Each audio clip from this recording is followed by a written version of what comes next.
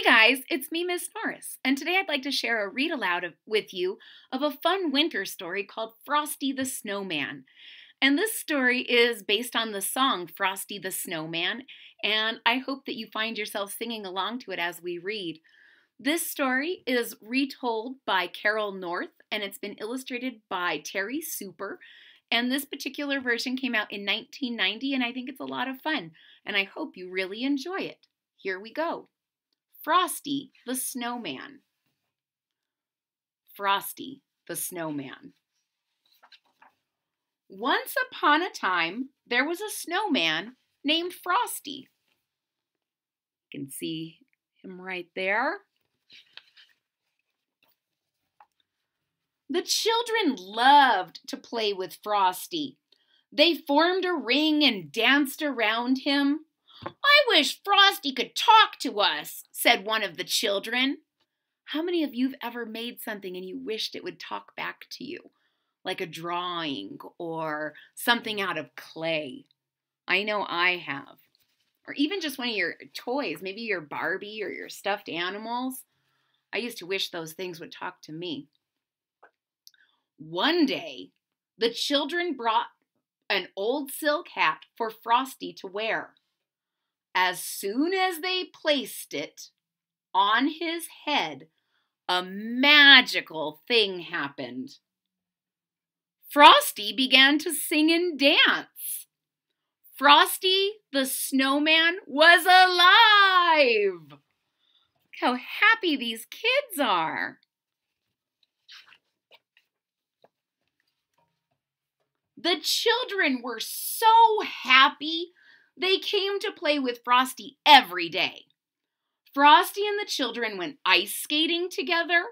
Round and round they skated on the frozen pond. Once Frosty slipped and fell, ker plunk. But he just smiled his magical smile and jumped right back up. So he, even when he's falling, he doesn't look like he's very upset. He still looks like he's having a good time. Another time, Frosty and the children all piled on a sled and went sledding. Whee! said Frosty. Look at us go! Look how much fun everybody is having. They're going super fast. One day, Frosty said to the children, Would you take me to town? I've never been in a town. They all skipped along, smiling and laughing all the way. Now, what do you think Frosty wants to do in town? There's a lot of places I've never been, but anytime I think about them, I think there's a reason why I want to go there. Why do you think Frosty wants to go into town? For an ice cream cone? Maybe. To to see to go to the bank? Maybe. Let's see. Frosty looked in a pet shop window. Well, that's a surprise. I didn't see that coming. He even pressed his nose up against the glass to get a closer look. So it seems like Frosty really likes animals, and those animals seem to really like Frosty. He pushed his little nose right up to him. When Frosty and the children got to the bake shop, Frosty looked at the muffins in the window. Oh, can we go inside and get a muffin? he asked. I've never had a muffin. So, what do you think might happen if Frosty goes inside a shop where there's lots of warm ovens? I don't know. I want I hope that muffin's not too hot. But when they went inside the shop, Frosty began to melt. Oh, I must go back outside, said Frosty. Frosty ate his muffin sitting on a bench with the children all gathered round. So he could see that that was a problem. He can't go inside warm places, he'll melt. But he can enjoy his muffin with the children outside. Oh, he still looks like he's a little scared. Like, if I started melting, I'd probably get a little scared.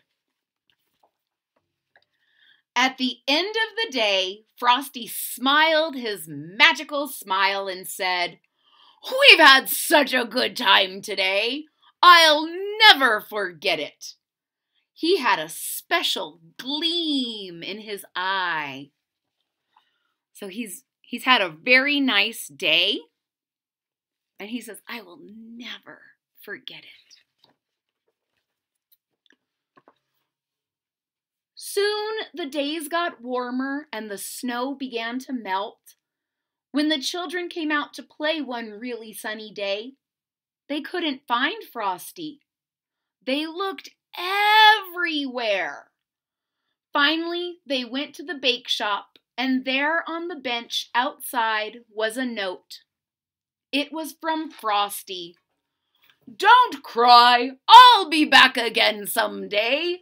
Love, Frosty. And the children didn't cry. They knew that Frosty would come back. They could picture his magical smile and feel his warm heart. Can you? Can you guys feel his see his magical smile and feel his warm heart?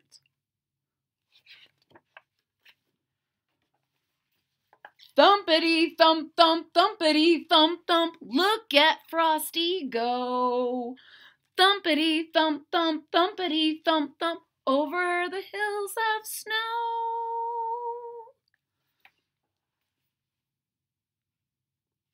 The end.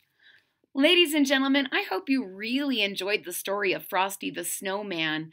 And maybe you'll, if you haven't heard the story of Frost, heard the song Frosty the Snowman, you might look it up. It's it's a definitely a fun song to sing. Um, if you enjoyed this story, please hit that thumbs up button at the bottom of the page. If you are already a subscriber, thank you so much. Your sub- support means so much to me. If you're not a subscriber yet, please click that subscribe button right here at the bottom of the page. And don't forget to click the bell so that you're notified when there's new content. Have a nice day, and I'll see you soon. Bye bye.